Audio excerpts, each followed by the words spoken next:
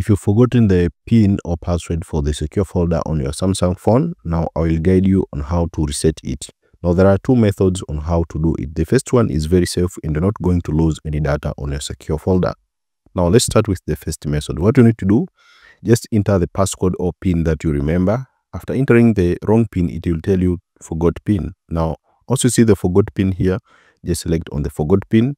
Now it will open this which tells you reset pin. Now also on the reset pin page here, what you need to do, just select reset. And after selecting reset, it will take you to your Samsung account where you need to log in on your Samsung account in order to reset your secure folder. As you see it here on this page here. So you just need to log in and enter your Samsung account password.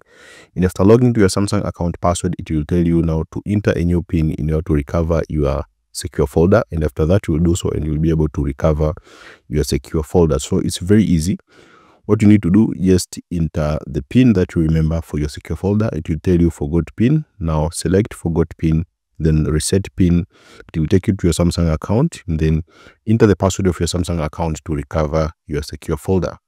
Now maybe if you have used this method or maybe you don't have a samsung account now there is another method that i'm going to show you here but this method will lose data on your samsung folder. So if you don't mind now just watch this method. Another method you can use is by clearing data on your secure folder, but this will lose data for your secure folder and you lose access to all the images and videos that you have saved. So go to settings, then select apps, then look for the secure folder.